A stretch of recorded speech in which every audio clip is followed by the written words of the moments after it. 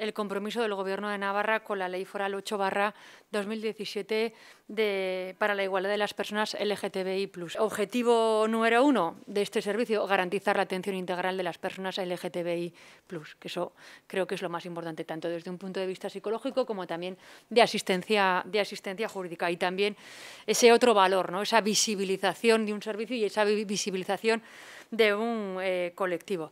Pero también compartíamos ayer en, esa reunión esa preocupación del aumento de delitos de odio. Estamos hablando de que más de un 9%, cuestión, como digo, que nos, que nos preocupa. Por eso también quiero aprovechar para anunciar una modificación normativa que va a hacer el Gobierno de Navarra para restringir la publicidad institucional eh, con aquellas entidades, asociaciones y medios de comunicación que difundan contenidos homófobos, lesbófobos o transbófobos que no colaboren perdón, con las campañas de sensibilización a tal fin.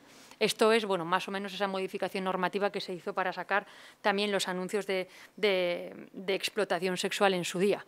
Como digo, creo que son cuestiones que tenemos que atajar y que el Gobierno, como digo, está comprometido a ello.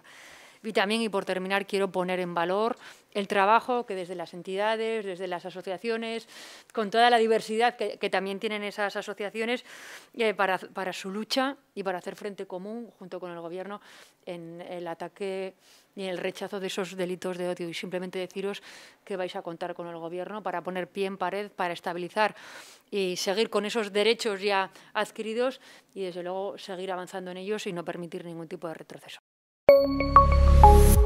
Gobierno de Navarra. Nafarroako gobernua.